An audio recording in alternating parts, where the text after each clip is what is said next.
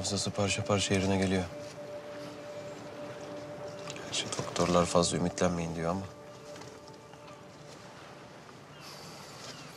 Keşke benim hafızam da tümüyle kaybolsa.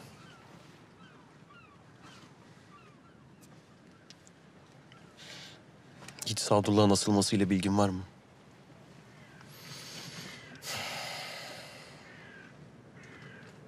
Bütünüyle ilgim var. Adamın ipini ben çekmedim. Ne yaptın peki? Adamlarına mı çektirdin? Hayır. Ama bana yaptıkları yüzünden öldürüldüğünü biliyorum.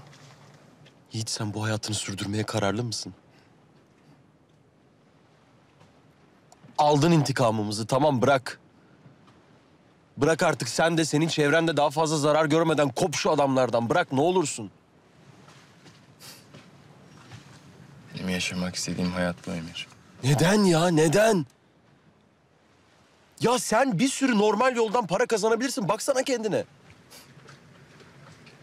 Güçlü olmak için. Benim yolum bu. Artık eski Yiğit kalmadı. Eski Yiğit'ten çok az bir şey kaldı. O da sana anneme olan sevgim.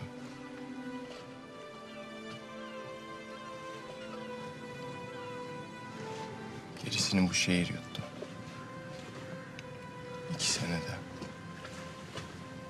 Ama sen... Sen her zamanki gibi direndin. Çok başarılı bir avukat oldun. Koskoca bir şirket için çalışıyorsun. Avukatlığı bırakıyorum ben. Neden? Ben de çok düşündüm. Bu hayatta nerede durduğumu, kimlere, nelere hizmet ettiğimi, etmek zorunda kaldığımı. Ve bu şekilde hayatımı yaşarsam ilkelerimi ne kadar çok çiğnemek zorunda kalacağımı hepsini düşündüm.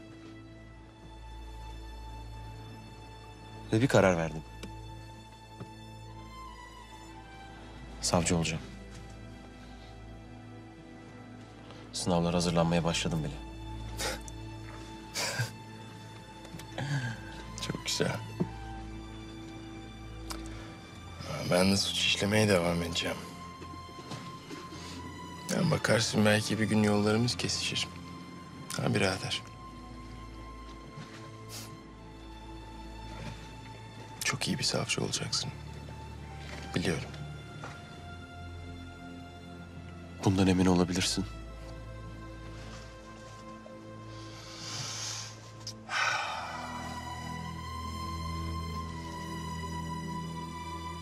Kanalımıza abone olarak tüm videolardan anında haberdar olabilirsiniz.